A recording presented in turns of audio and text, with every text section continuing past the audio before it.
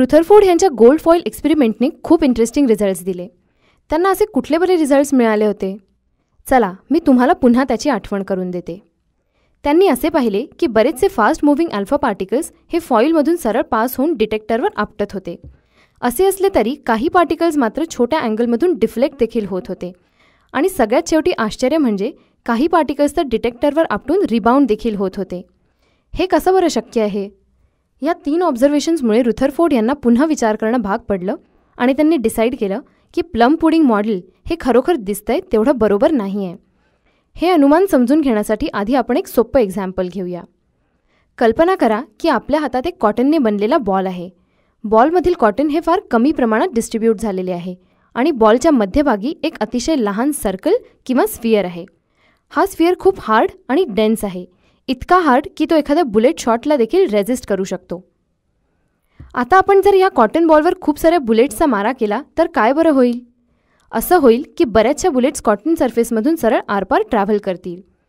जर एखाद्या बुलेटने कॉटन बॉलच्या मध्यभागी असलेल्या हेवी मासच्या एजला हिट केलं तर काय होईल?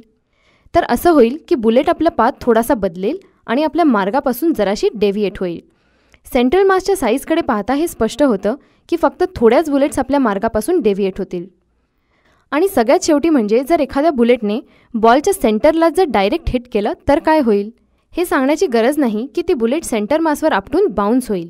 कारण आपल्याला माहीत आहे की बॉलचे सेंट्रल डेन्स मास इतके हार्ड आहे की बुलेट त्यातून आरपार जाणारच नाही आणि म्हणून फार कमी बुलेट्स त्याला आपटून बाउन्स होतील. रुथरफोर्ड यांनी ॲटॉमिक स्ट्रक्चरच्या बाबतीत जे अनुमान काढले होते त्याच्याशी ही कल्पना बरीचशी मिळती जुळती होती. रुथरफोर्ड यांचं पहिलं कन्क्लुजन असं होतं की ॲटममधील बहुतेक स्पेस ही रिकामी असते. याच कारणामुळे जास्तीत जास्त अल्फा पार्टिकल्स हे ॲटममधून सहजरित्या पास होऊ शकले आणि डिटेक्टरला सरळ जाऊन हिट करू शकले. मग जर ॲटममधील जास्तीत जास्त स्पेस ही रिकामी असते तर मग पॉझिटिव्ह चार्ज कुठे बरं लोकेट झालेला असतो? बरोबर. हे झालं दुसरं कन्क्लुजन पॉझिटिव्ह चार्ज हा अतिशय छोट्या जागेमध्ये कॉम्पॅक्टली पॅक्ड असतो म्हणजेच घट्टपणे एकत्रित असा भरून राहिलेला असतो. ॲटममधील अतिशय लहान स्पेस त्याने ऑक्युपाय केलेली असते. हा विचार त्याच्या मनात कसा आला बरं? आपण पुन्हा मागे आपल्या कॉटन बॉल आणि पुलेटच्या एक्झाम्पलकडे जाऊया. तुम्हाला सेकंड आणि थर्ड केस काय होती ते आठवते आहे का? बरोबर. बुलेट जेव्हा मध्यभागी असलेल्या टायनी स्फिअरला हिट करते तेव्हा ती डेव्हिएट होते. आणि जेव्हा ती सेंटरला हिट करते तेव्हा ती रिबाउंड होते. हेच एक्सप्लेनेशन इथे देखील खरं ठरतं. काही अल्फा पार्टिकल्स हे डेव्हिएट होतात.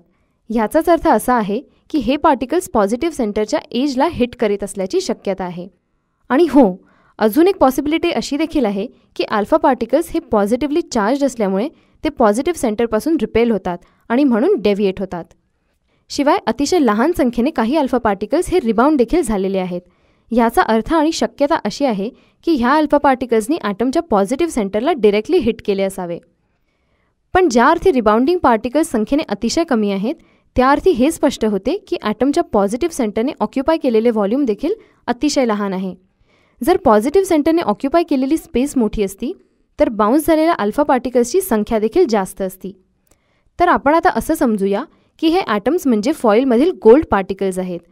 रुथरफोर्ड यांना असं आढळलं की बरेचसे रेज हे ॲटम्समधून आरपार पास झाले होते. काही रेजने त्यांचा पाथ बदलला आणि ते छोट्याशा अँगलमधून डिफ्लेक्ट झाले. आणि शेवटी म्हणजे फारच थोडे पार्टिकल्स बाउन्स बॅक झाले. या रिझल्ट्समुळे रुथरफोर्डला नवीन न्यूक्लिअर मॉडेल बनवणं भाग पडलं.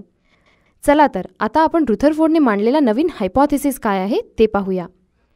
पहिलं हायपॉथेसिस म्हणजे प्रत्येक ॲटममध्ये पॉझिटिव्हली चार्ज सेंटर असतं ज्याला आपण न्यूक्लियस असे म्हणतो. ॲटमचं जवळपास सगळंच मास ह्या न्यूक्लियसमध्ये एकवटलेलं असतं.